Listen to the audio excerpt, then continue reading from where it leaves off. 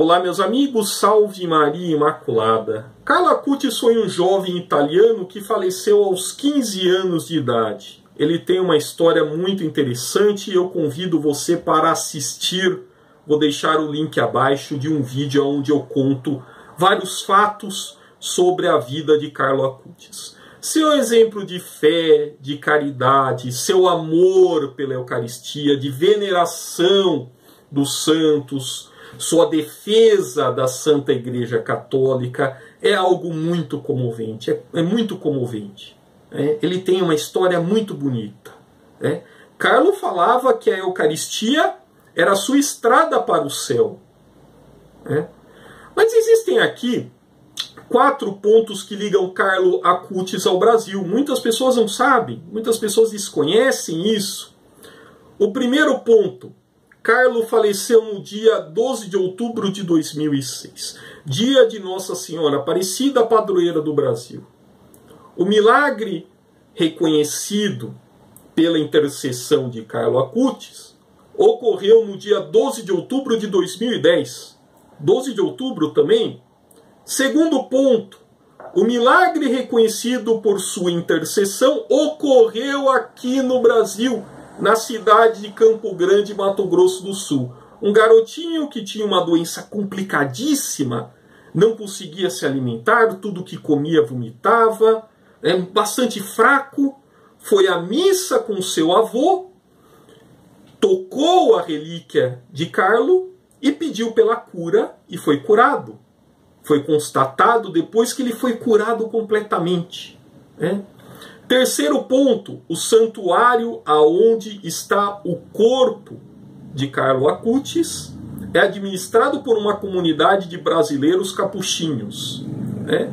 E o quarto ponto é a forte ligação do nosso país, do Brasil, com a Itália.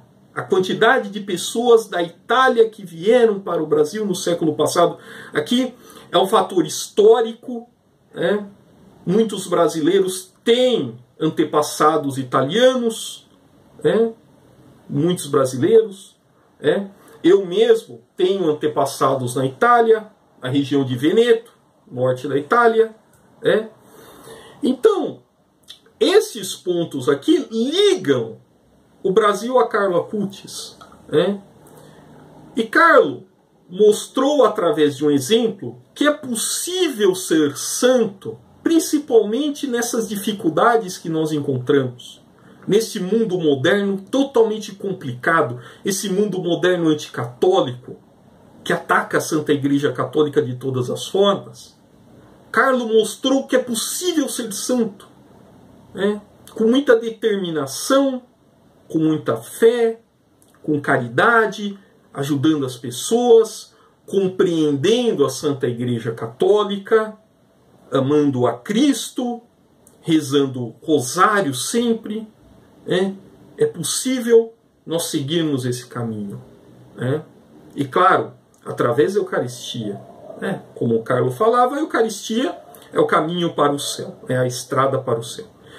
Então devemos ter essa oportunidade de rezar aqui também por mais vocações, principalmente no Brasil.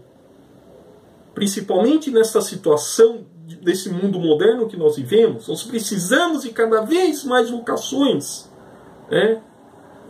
O que existe aí de jovens perdidos, jogados, jogados em tudo quanto é tipo de coisa ruim, de loucuras, não está escrito, gente, não está escrito. É, também devemos rezar né, para que esses jovens possam conhecer o exemplo dos santos, possam, no caso, é ser guiados por esses faróis que são os santos. Os santos são os nossos faróis. Né? E os jovens atualmente, muitos, graças a Deus, têm conhecido a Santa Igreja Católica.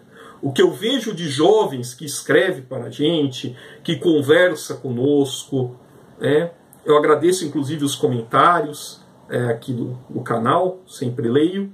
É, eu vejo muitos jovens, muitos jovens que querem conhecer a Santa Igreja Católica, que querem saber o que acontece. que querem saber sobre a doutrina da Santa Igreja Católica, sobre questões teológicas, sobre questões históricas. Né? Enfim, muitos jovens têm se interessado.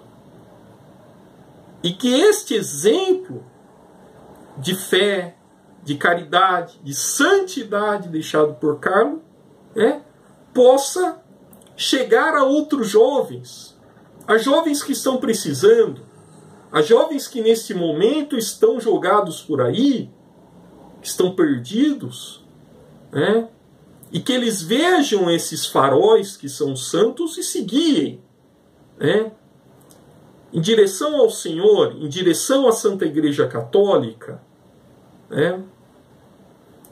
E que essa ligação de Carlo Acutis com o Brasil seja um caminho, mais um caminho para que os jovens se convertam, que conheçam a Santa Igreja Católica.